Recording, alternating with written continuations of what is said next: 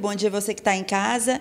É isso mesmo. Março é o mês de prevenção ao câncer de colo de útero, o Março Lilás. E sobre esse assunto, a gente vai conversar com a doutora Lia Cruz, que é ginecologista, e ela vai conversar um pouco com a gente sobre prevenção, né, sobre como se prevenir e também sobre o tratamento do câncer de colo de útero.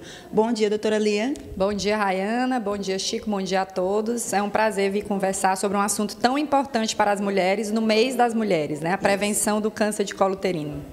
É, doutora Lia, como a mulher pode se prevenir do, do câncer de colo de útero? É, a gente tem que entender que o câncer de colo uterino, né, o câncer do colo do útero, que é aquela parte final que fica em contato com a vagina do útero, ainda é um dos cânceres mais prevalentes entre as mulheres. A gente tem uma estimativa aí, Rayana, de 16 mil casos novos nesse ano, né, no Brasil, e mais de 400 no Piauí.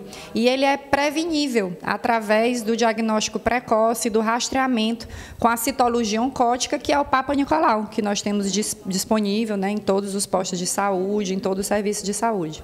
De quanto em quanto tempo a mulher deve fazer o Papa Nicolau? Depende da idade, né? Depende da atividade sexual, mas diríamos que tem que começar no máximo até os 21 anos e pelo menos anualmente. Dependendo dos resultados, esse intervalo pode ser mudado, mas pelo menos uma vez por ano é o previsto no geral, né? Então deve procurar o ginecologista e fazer esse rastreamento adequado.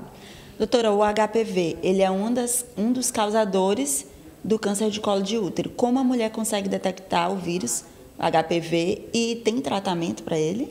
É, 90% dos casos de câncer de colo do útero são devidos à infecção persistente pelo HPV principalmente os HPV que a gente chama de alto risco. Hoje a gente já consegue diferenciar essas infecções.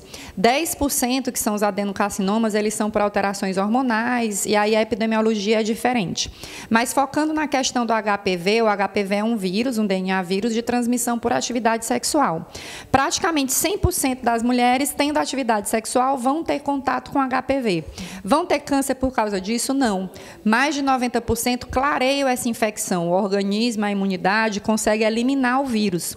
A infecção persistente pelo HPV, no qual estão envolvidos vários fatores imunológicos, né, genéticos, é que vão permitir o desenvolvimento de lesões que, se prosseguirem, né, a gente tem lesões inespecíficas, depois lesão de baixo grau, depois lesão de alto grau, e na persistência dessa infecção sem tratamento é que a gente pode chegar a ter o câncer de colo uterino. Então, a gente diz que ele é um câncer prevenível, porque se você consegue diagnosticar diagnosticar essas alterações precocemente e conduzir de forma adequada, você consegue evitar. Por isso que ele é tão relacionado né, a fatores de baixo desenvolvimento e baixo nível socioeconômico. Doutora, o câncer de colo de útero, ele tem cura? Sim, tem cura. O HPV, uma vez ficando a infecção persistente, ele pode ficar latente no organismo. A gente não consegue eliminar o vírus, mas a gente elimina a lesão e faz o acompanhamento de acordo com as lesões encontradas.